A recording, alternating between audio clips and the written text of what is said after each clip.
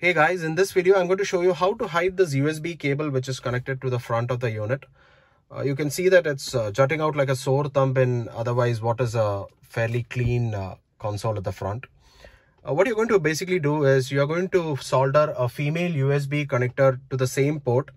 So you'll have to open this unit and expose the circuit board and just uh, solder the four or five leads to the existing USB port. But be warned that you can't use both the ports together. You can only use one. So basically that renders this one useless if you've already connected the one through the rear. I'm going to show you how it's done. It's pretty simple. At least uh, you could do this much to hide this uh, USB cable.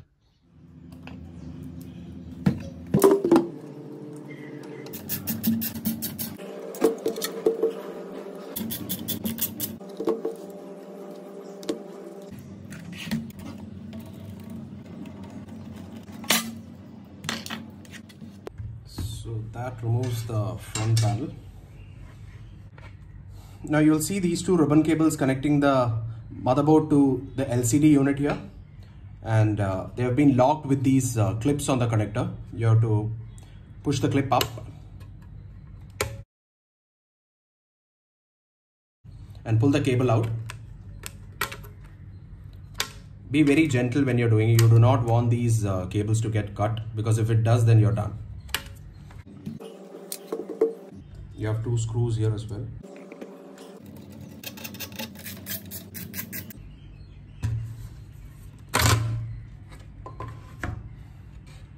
So that uh, separates the LCD unit from the motherboard. So this is the LCD unit. We'll have to remove this panel as well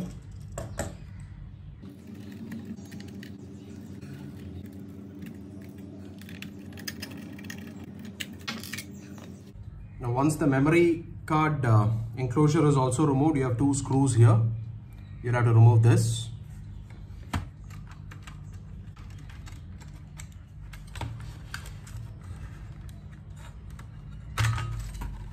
Uh, guys, you are going to need a shielded USB cable for uh, connecting the extension. So what I did was I had a micro USB uh, cable with me. One side is a normal USB, the other side is a micro USB cable.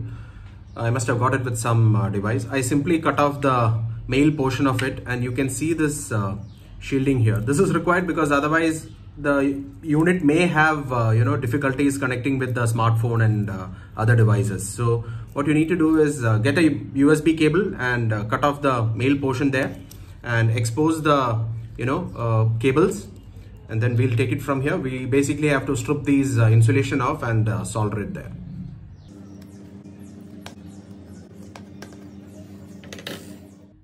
This is a rear of the USB port and we need to solder the four leads from the USB cable to this port. This is going to be the hardest part because the leads on the board are very closely spaced and you have to do the soldering very precisely to avoid shorting any two leads. From left to right, the first lead is ground and it will be a black cable. The second is data plus and it will be a green cable. The third is data minus and it will be a white cable.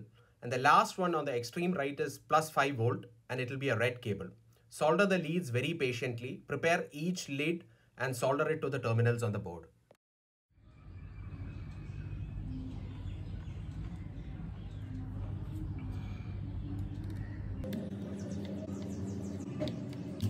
So guys, we've managed to somehow solder these uh, leads here. The most pathetic solder that I could do. Uh, because these cables would just not uh, stick to the solder. So somehow I managed to stick it to these four uh, leads here. Uh, but I'm pretty sure you'll have to, you know, uh, secure this uh, solder using some hot melt glue or something. So when these cables move, it doesn't come off. Because once you've sealed it, then it'll be a pain to, you know, get this all redone.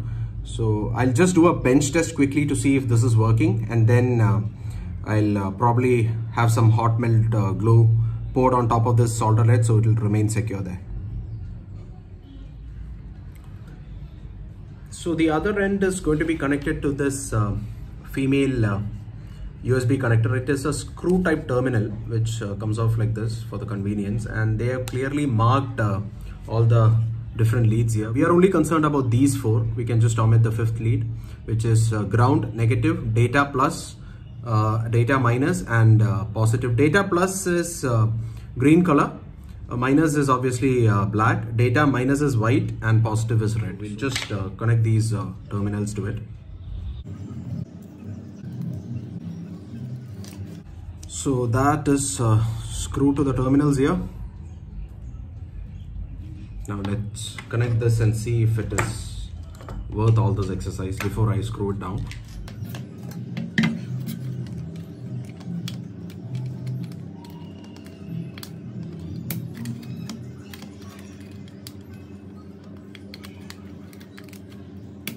Okay so time for bench test. I've just connected the positive and negative leads to my uh, uh, bench power supply unit. Let's try powering it on. Yes.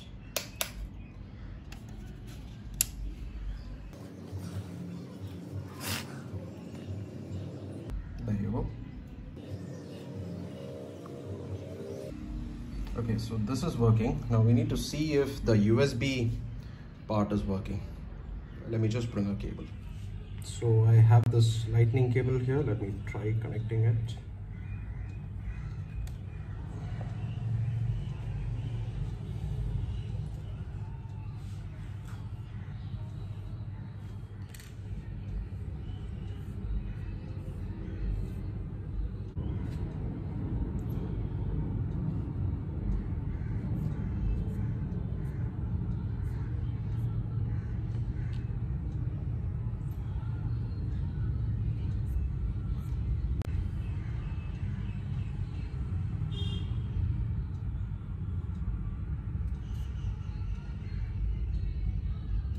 guys so I've poured some uh, hot glue and uh, used the heat gun. So you can see. Part of it got uh, slightly melted here the plastic enclosure but it's not visible otherwise. Uh, just secure these uh, cables here. So poured some uh, hot glue and use the heat gun. That's how this particular part got melted. So please take care about this aspect. Now we'll assemble this back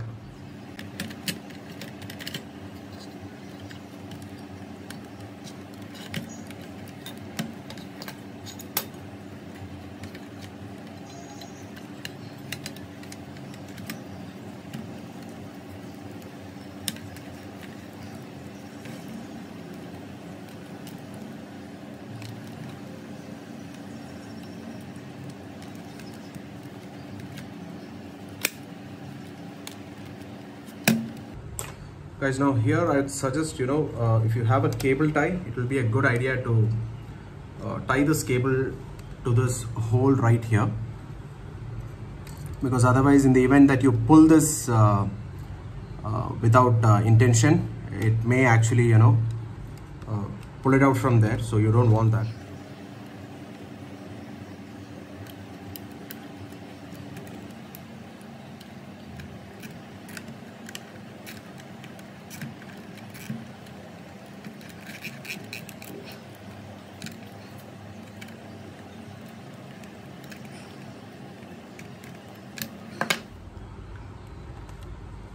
okay so we'll try assembling all the remaining components back.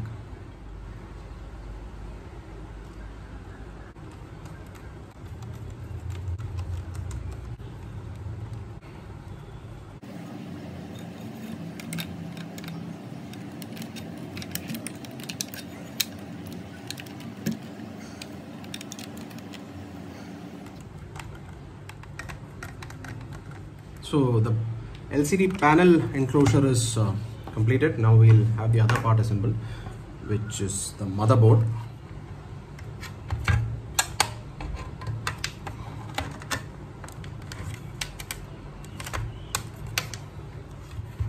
Now we'll have to secure these screws at the side. These two.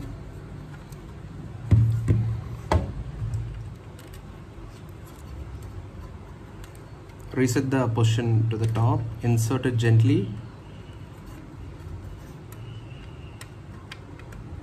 And then push the tab back.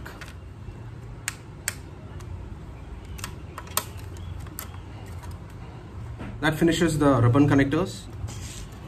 Now for the final part it's very simple. You just have to insert it into these slots here. There are two slots.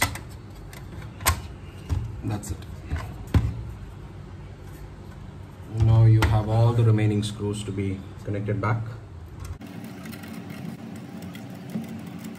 So that completes uh, all the screws and enclosures we have to put. I've just trimmed this cable as short as possible because I don't want any unwanted interference. What we'll do is we'll strip this insulation off and uh, connect it to this uh, USB connector once again.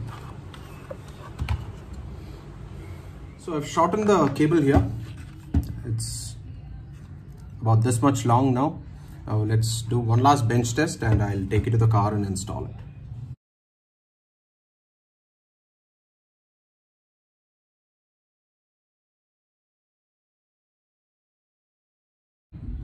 Awesome guys, so this is working.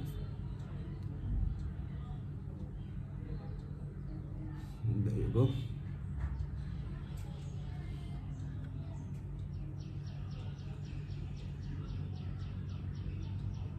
Everything is working as it should.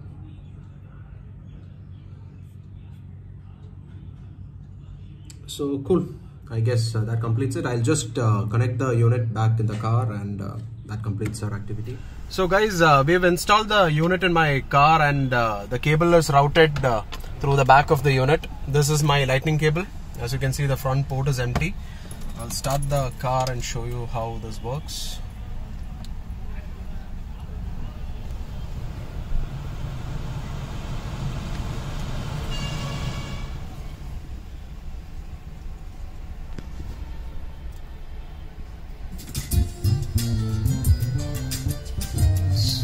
there you see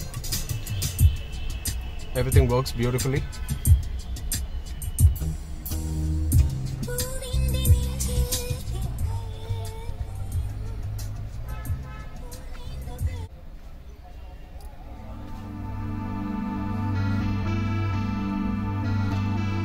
is to connect a wireless uh, CarPlay adapter to the cable. So in that case, you can completely avoid this uh, lightning cable as well. So I hope uh, the video was useful. Thanks for uh, watching and if there are any comments do let me know. Bye guys.